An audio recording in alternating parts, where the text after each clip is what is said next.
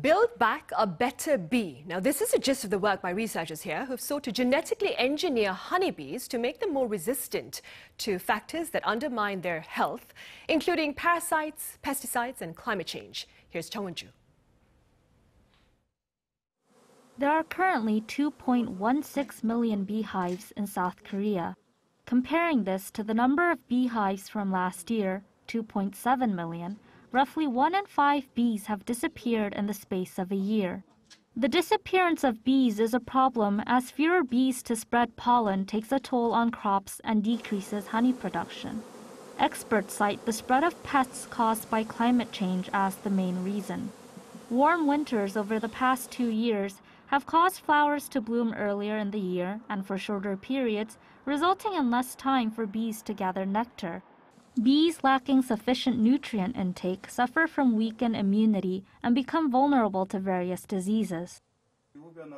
Climate change has caused various pests such as bee mites to thrive, and the excessive use of pesticides has caused a decrease in the number of bees.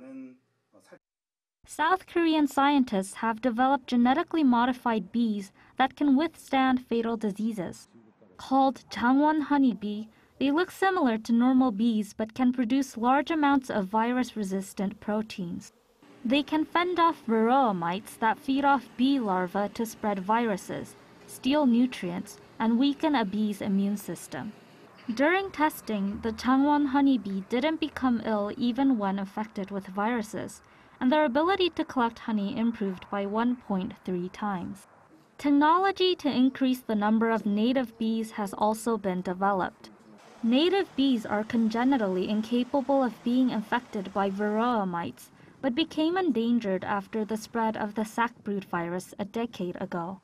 The same research team has developed the halla bee that is completely immune to the sackbrood virus.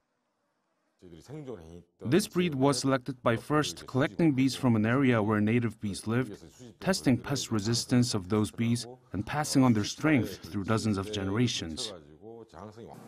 The research team has plans to develop types of bee that can withstand warmer temperatures so they can respond to climate change. Jeong Eun-joo, Arirang News.